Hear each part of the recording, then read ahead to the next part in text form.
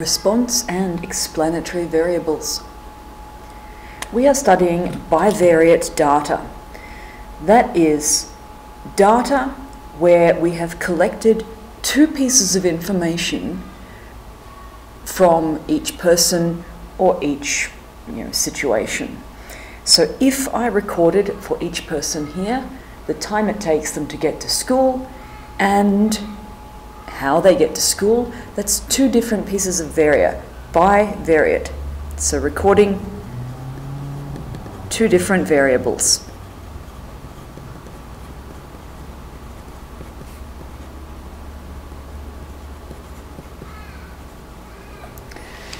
So those two variables generally are linked so they belong to the same person when I check how you got to school and how long it took you to get to school.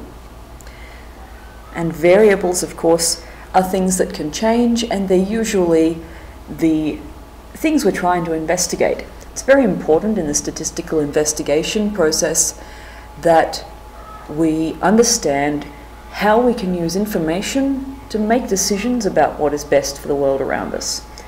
If at Darramarlin we discovered that more students than anything else were catching a bus, we might want to make sure there were bigger bus bays, more staff members on bus duty, so we can make decisions about how best to do things based on data. And we're going to learn a lot about associating two different variables.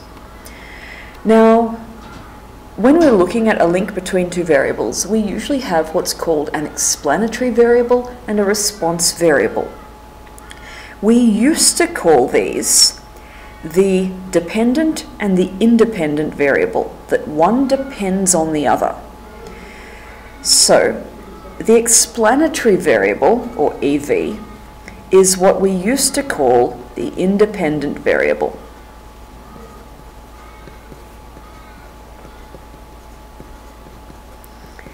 It goes on the x-axis of a graph or table and it explains the change in the other variable.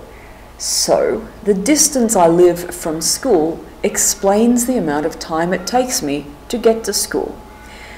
Some variation in the response variable can be explained by the variation in the explanatory variable.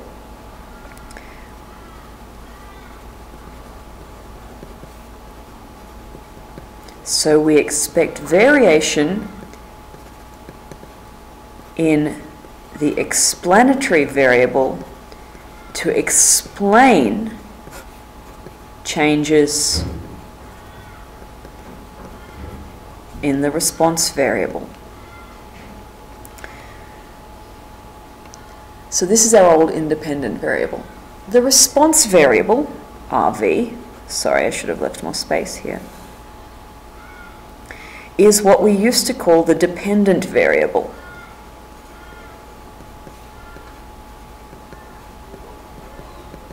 It goes on the y-axis of graphs.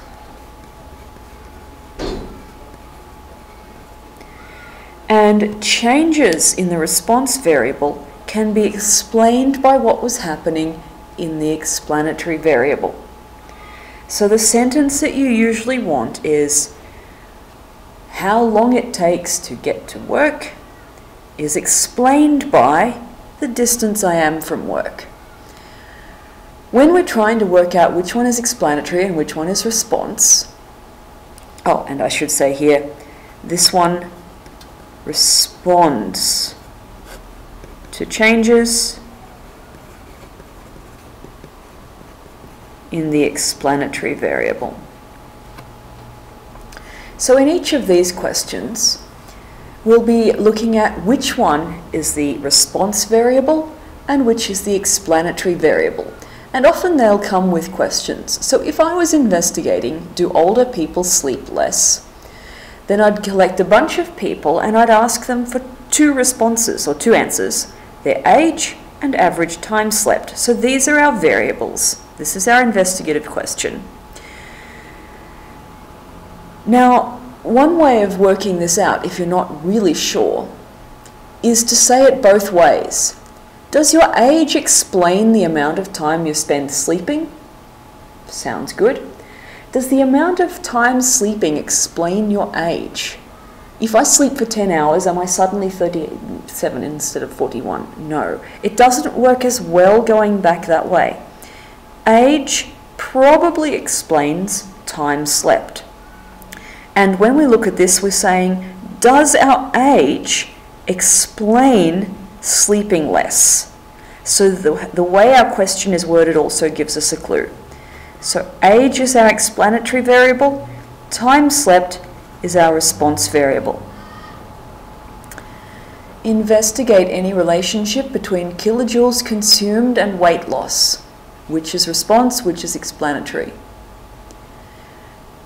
Do the kilojoules I've consumed explain my weight loss?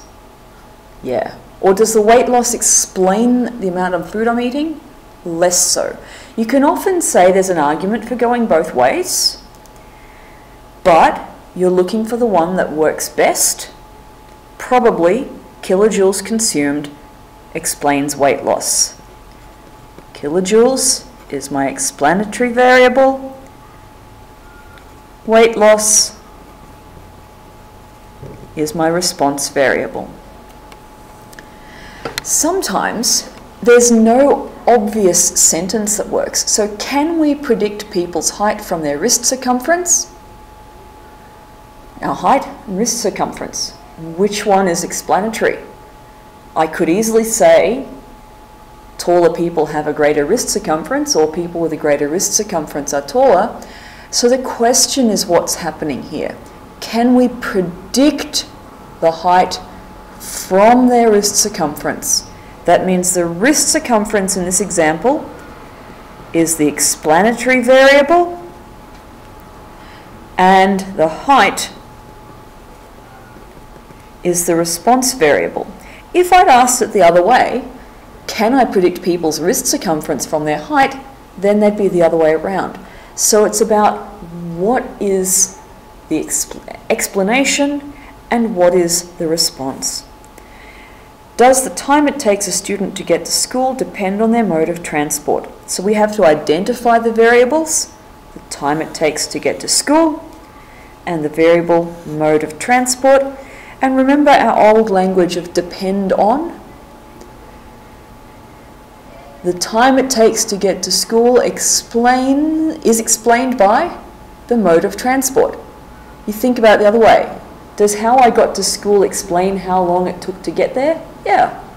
I got the bus, it took longer. Getting the bus explains the fact that it took longer. Does it took me an hour, so I have to catch the bus? No, it doesn't work as well. So look at them both ways. The mode of transport, does the time it takes depend on it? Remember, we can still use the dependent time it takes depends on, that's dependent, it's the response variable.